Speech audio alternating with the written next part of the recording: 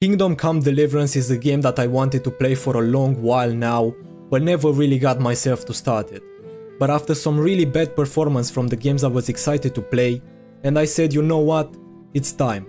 So today, we'll be taking a look at Kingdom Come Deliverance and my experience playing the game in 2023. I want to start off by saying that I really enjoyed the game. It wasn't perfect or the best game I've ever played, don't get me wrong, but I had a fun time exploring the lands of Bohemia. But before getting into the plot and everything, I want to talk a bit about the development of this game, because it's a pretty great story if you ask me.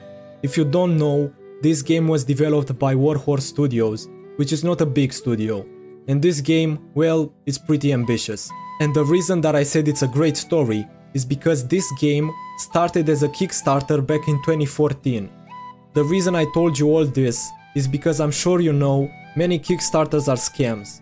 But the fact that the developers, Kingdom Come delivered what they promised, shows the dedication and passion they had for this game. Alright, that was a bad joke. I will stop, I'm sorry.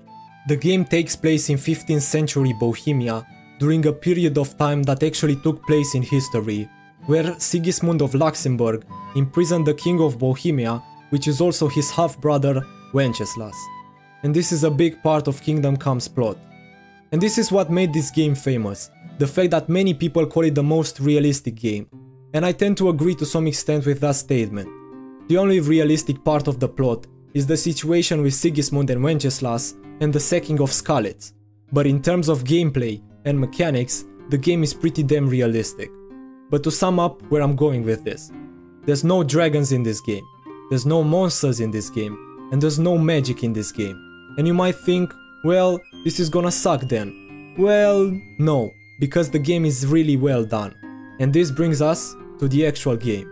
After a summary of the world's events and a beautiful presentation of the game's world, we are greeted by the game's protagonist, Henry, who is a bit like all of us. And I'm not talking about living in a hut in the Middle Ages, I'm talking about being lazy. Because that's why it took so long to do this video. Henry is the son of the Skalitz blacksmith which makes him a little more important than the other peasants. His father is forging a sword for the Lord of Skalitz, Sir Radzig, so he sends us into town to have a bit of tutorial. After we come back, we forge the sword and we get to talk with Sir Radzig, which was a big deal for a peasant back then. But if you got to liking Henry's parents up until this point, well, too bad, because they're gonna die in the next 5 minutes or so, because Sigismund attacks with his army of Cumans. If you don't know what Cumans are, here you go.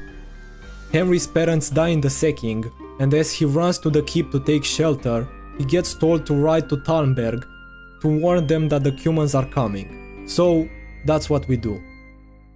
The lord of the castle takes care of our wounds and takes us in, and we inform him what happened to Skalitz.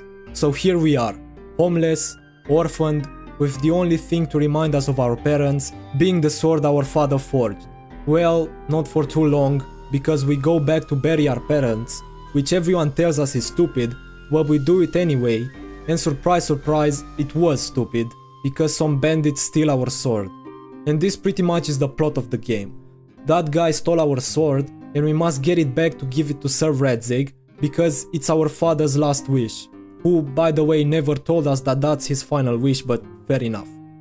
The plot isn't something that we haven't seen before, by any means, but it's good enough to launch us into this amazing world. But if you think that just because you unlock the open world, that means the tutorial is over, you are making a big mistake that I also made. Just like in any other game, when you gain access to the open world, that means for the most part that the tutorial section is over, and that you can do whatever you want. Well, this is to some extent true for this game also, but I don't know if you noticed, but the game never properly taught you the combat mechanics.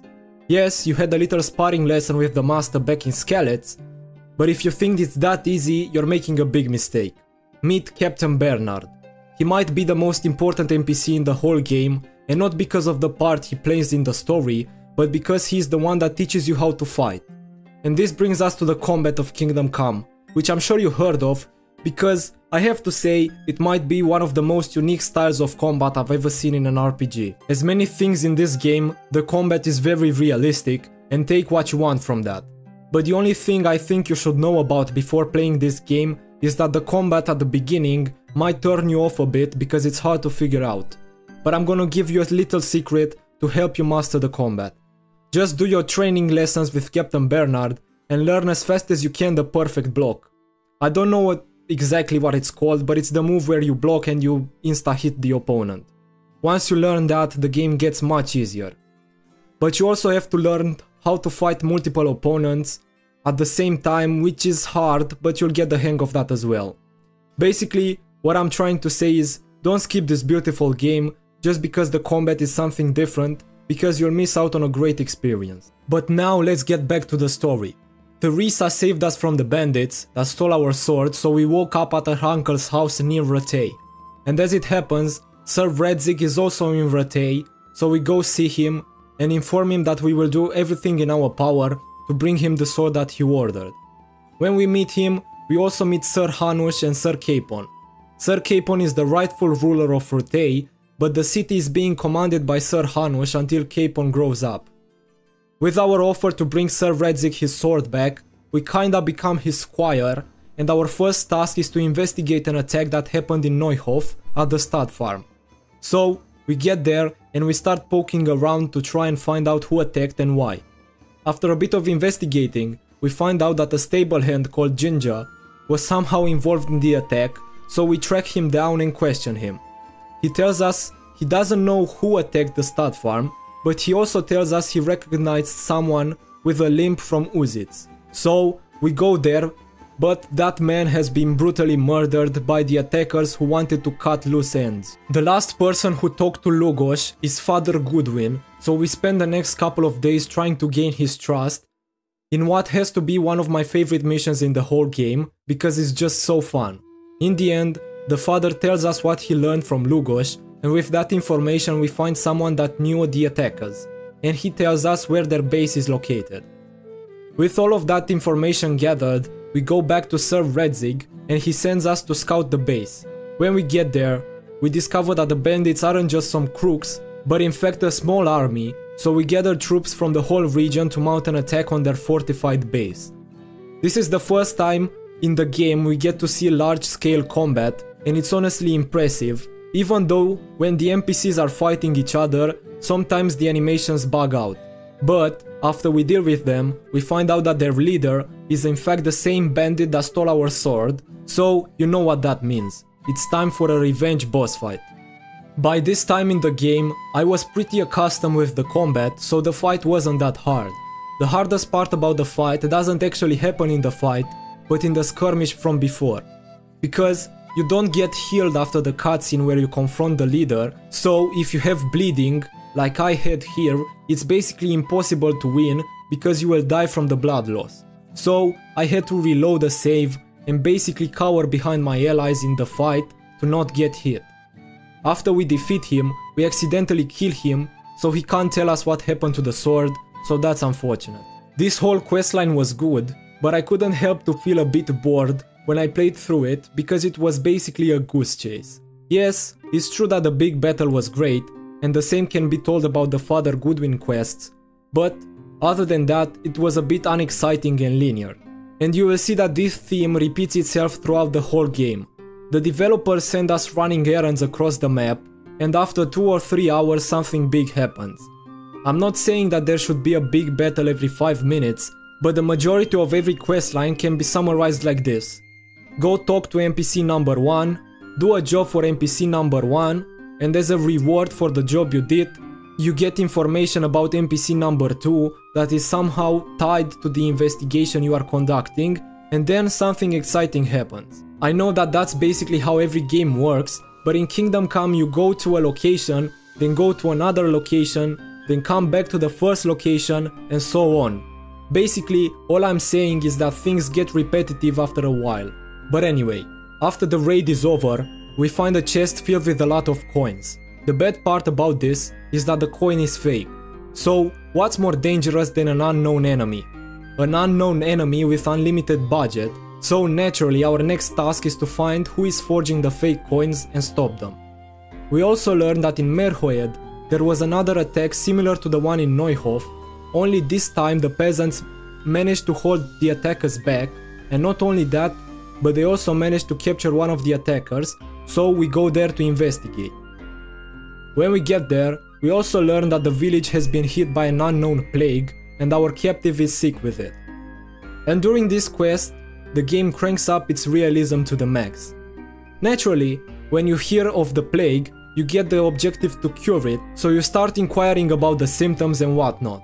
But if you take too much in-game time to learn what the plague is, the captive will die. From a plot point of view, this is no big deal because you get a letter on his body that basically tells you what he would have told you anyway, but if he dies, you are unable to cure the plague from that point onward. So again, the realism of this game messes with the gameplay and takes away from the experience. Again, I'm not saying that realism is bad for gaming, but it has to have some limits. It's an open world RPG. Of course I'm gonna take a while to complete the main quest, so the developers should have thought about that. After we read the letter, we find out that a merchant called Manhart and a mysterious foreign knight are somehow involved in this. We go to Sasau and we find the merchant's attacked carriage and the mysterious knight stealing something from it. We await for him back at the Sasau inn and after a quick fight we understand part of the story. This merchant, Manhart, was transporting the forged coin and the knight called Ulrich has the same orders as us, stop the operation. He gives us a letter where the forging process is explained and we take it to the coin master in Rattay that tells us to find blacksmiths that work with copper in Sasau. So, we go to the town and ask around to see what we find. We discover many people involved in the operation, including the blacksmith that works with copper. I still find it funny that in order to make him confess, we have to beat up his son, but fair enough. After we make him confess, the same thing that I stated before happens. He tells us that if we help him with something, he would tell us what he knows, which I find really stupid because we literally caught him in 4K that he commits a crime against the king, but it is what it is. We complete the task that he asked us to do, which is a duel with another smith, and we learn that a group of bandits forced him to do it. After this, we get the task to try and join them to find out more information. To join them, we do some secret signal shit, and after that, they tell us that if we want to gain their trust, we must kill someone. The only problem with that is that that person is in the Sasau monastery as a monk. So now we have to join as well to kill him. Luckily, we hear of a lord that is joining the monastery against his will, so we make a deal. We join in his stead and he gets to run away. Naturally he accepts because who wants to be a monk? When we join, another novice monk takes us around a tour of the monastery and of course that he is the person we seek because we are the main character and we have plot armor. Instead of killing him, we both agree to just fake his death. For this we have to gather some items that are not very hard to get, you just sneak around the monastery and after we gather the items we put the plan in motion and we escape. But because he still is a bandit that attacked Neuhof, I beat him up and take him to Rattay for interrogation. With that taken care of, we meet with the bandits that congratulate us for our job and send us to their base. And this base is even bigger and more fortified than the last one. It has a wall and tents and everything. When we get inside, we meet their leader and, unfortunately, we also meet Istvan Toth. If you don't remember him, don't worry, because I didn't either. He was a noble that Sir Radzig hosted back at the beginning of the game so he remembers us and well, we become their hostage. During the interrogation with them, Istvan drops the twist of the game. Very inconsiderate. I'm sure you'd rather hear it under different circumstances and from someone else, boy. But beggars can't be choosers. Your father, your real father, is alive. You even know him. It's your liege lord. Radzig Kobyla. Yes, you heard right, Sir Radzig is actually Henry's father. Honestly, I didn't expect that, but now that I look back on it, there were some signs. During the time he interrogates us, Istvan gives the cliché bad guy speech where he tells us all his plan and motivation. He just wants to control the region, basically. After he leaves, the guy from Skalitz that turned us on the bandits that stole our sword helps us escape. During this escape sequence, you can actually lose all your gear if you don't take it yourself. After we escape, we go back to Rattay, where we prepare another attack. This time we bring even more men and we ride to their encampment. Again, the same thing I said before happened. We did errands for around 4 hours, and now the game rewards us with a big battle. I enjoyed the missions from before, but again the same pattern repeats itself. We attack and we beat the bandits. But the only problem is that we beat them too easily and that's because Istvan Toth pulled a Robb Stark on us and left a smaller force behind and with the bigger force he captured Talmberg, the keep of Sir Divish. The next day, we mount a desperate attack to recapture the castle, but during that attack our father, Sir Radzig, is captured. So, Istvan now has two high profile hostages. Lady Stephanie, who by the way we had a little spicy time with earlier in the game, and Sir Radzig. So now we get to the endgame. But before talking about the final part of the story, let's take a look at the world of Kingdom Come and the side quests in the game. The world I really like. It's very immersive and unique and you can get lost in it with hours. There is also a lot to do from little insignificant quests to treasure hunts and big quests. My favorite area is Rattay, but I think it's because we spend most of the time there. But the only thing I don't like about this version of Bohemia is that the bushes have hitboxes, and you can't ride through the majority of them. This has to be the most annoying thing ever, because the horse riding is already a bit wanky, and mixed with the foliage it's really annoying. Another thing that I have to say it's a weak point of the game is the voice acting. Even though I think that the main characters and Henry really do fit with their voices. But in the side characters, you can really see they ran out of budget. This game also has some really good side quests, but the majority of them just feel empty. In most of them you just go from point A to point B and complete a task. But I have to say that the quest that annoyed me the most is the one where you go back to Skalitz to secure the silver mines in the area. There is a part in which you have to make your way out of the mines and it's basically a maze.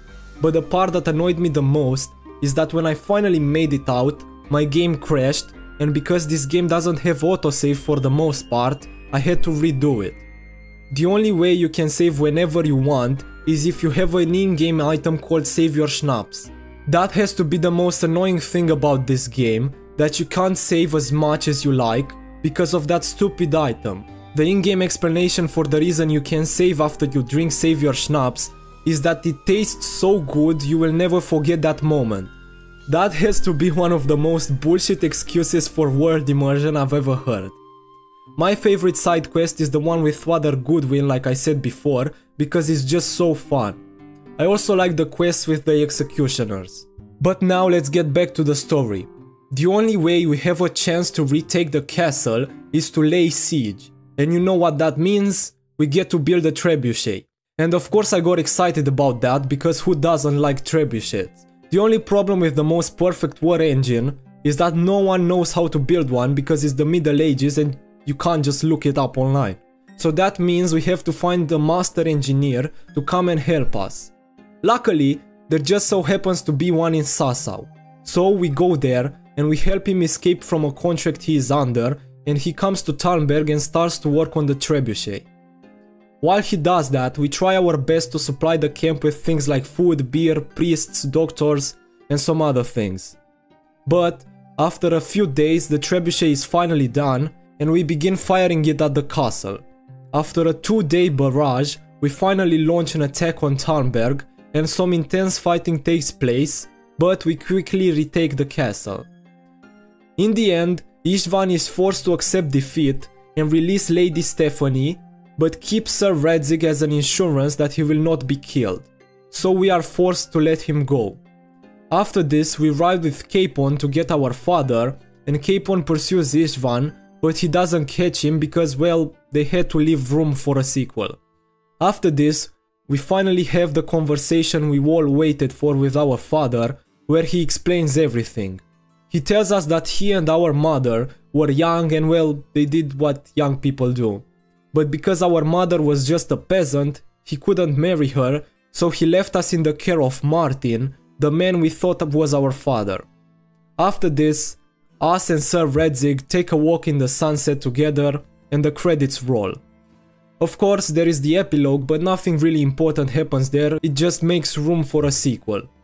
And this is it, the full retrospective on Kingdom Come Deliverance. I have to say that this game grew on me while I played it, and in the end, it was a really good experience. I strongly recommend it to you because you'll not regret it. But now I want to talk a bit about the future of this channel. I don't know if you like this type of content, but I really enjoy making it, and I really do hope you enjoy it as well. If you watched this far in the video, I really want to say thank you because it really means a lot. But with all that being said, I'll see you again soon.